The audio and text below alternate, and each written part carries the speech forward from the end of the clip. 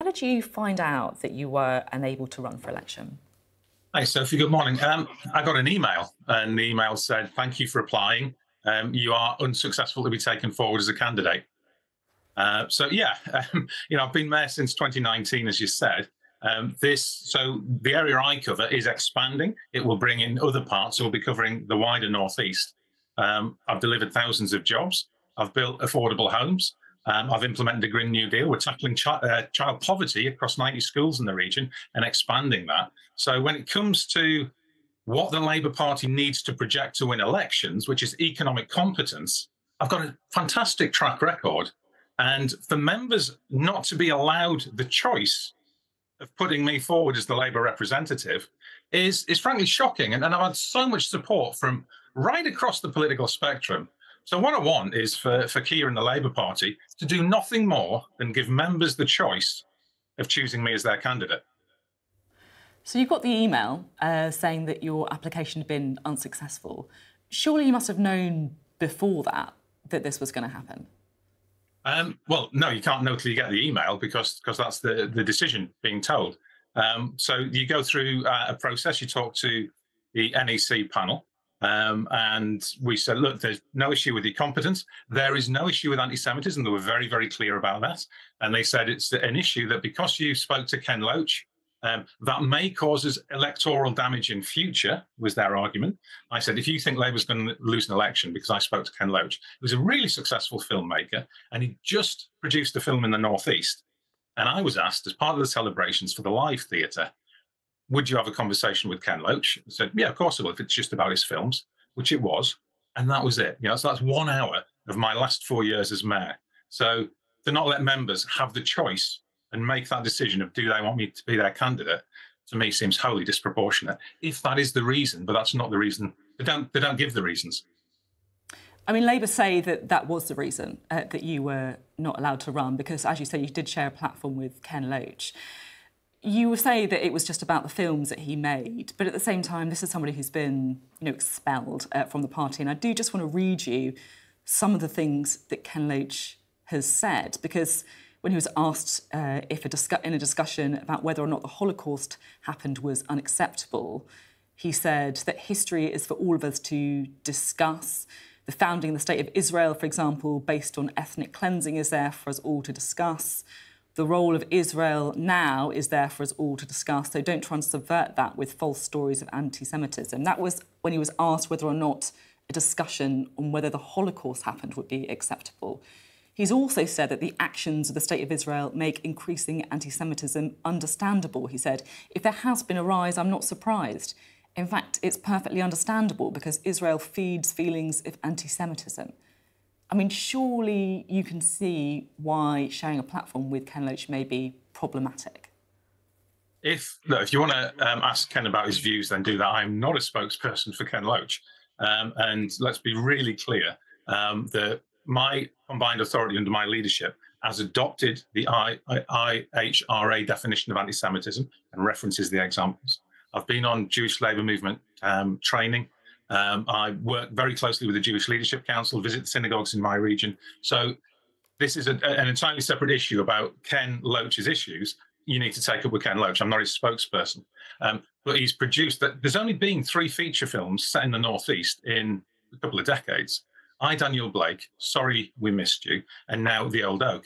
Um, so it is a big cultural significant issue for the Northeast. And to talk to him about films, I think, is entirely justified. I share platforms with all sorts of people. A couple of weeks ago, I was on a platform with Ben Houchen. That does not mean I endorse the Tories' economic policies. At the same time, though, you, so you don't regret sharing a platform with Ken Loach then? Um, I, I regret this entire episode now. the whole thing's blown up, and now Labour members are not getting the opportunity. But you don't think it's you don't think it was wrong of you to share a platform with Ken Loach? Um, I think the issues of speaking to somebody about something entirely different from a controversial issue, um, and you know, I, my understanding is that he's um, made all sorts of clarifications, and he's not a Holocaust denier. I think he wrote a letter to the New York Times explicitly saying that the, the Holocaust was a real event, which of course it was. So, I, honestly, Sophy, I think we've got to get the proportionality here. What the public want from their politicians is to get on with things and deliver things and not to engage in culture wars, cancel culture, or anything like that. I actually think that's electorally damaging. I guess some people might say that, you know, when issues of anti Semitism within the Labour Party led to a big distrust by the Jewish community, Keir Starmer is trying to rebuild that trust. That you sharing a platform with Ken Loach, who, you know, I've read out some of the things that he's said when it comes to anti Semitism, when it comes to Israel and the Holocaust, and you don't really think that is problematic. You think it's right that you talk to him about the films. I think we should let the members make that decision. Let's trust the Labour Party members to say, do we think that Jamie's done a good job as mayor? Do we think he'd win as an election? Do we think actually is an electoral asset? Um, and I would think you would find that yes, actually, would be the result. There's a pattern of behaviour here, I think, that people who support renationalisation of the utilities, who support stronger workers' rights, are being excluded at lots of stages in the Labour Party, whether that's standing as MPs, whether that's frequently as councillors, people being deselected. I've spoken to mayors, MPs, people who were ministers in the new Labour administrations, all of whom are really worried that the sword of Damocles is hanging above them and they're going to be next. So you think this is about factionalism in the Labour Party, effectively Keir Starmer purging the left? I think there's a big issue if you look at what's happened. Um, if you look at you know some of the things that have happened to me recently, um, as a sitting mayor, I should automatically be allowed to contact members. I was asking for this for about two years and got um, a, a, it finally got an email from the regional director saying, because you are a potential candidate in a future election, we can't give you it. Everybody's a potential candidate. I've had Labour Party staff ringing. This is anything way before I, I spoke to Ken about films, saying, um, oh, you must disinvite Jamie because there may be an event coming up um, where there's going to be an, a selection for the Labour candidate. You know, this is, um, there is a big issue here um, about democracy about should people be allowed. That's how we do elections in a civilized country, isn't it, Sophy? You know, you let people decide do they want their candidate. Why should you bar someone on the basis of that decision? I mean, I guess, you know, just come back to they would say that the barring is because of their huge concerns about taking a red line when it comes to anti-Semitism uh, and sharing platforms with people uh, in regards to that as well. I mean, have you read the EHRC report into anti Semitism in the Labour Party? You talk about sharing a platform. So, you know, if you, um, the, the I, Daniel Sorry, Blake. The, the, the, question was about the EHRC report into anti Semitism. Have you read the report?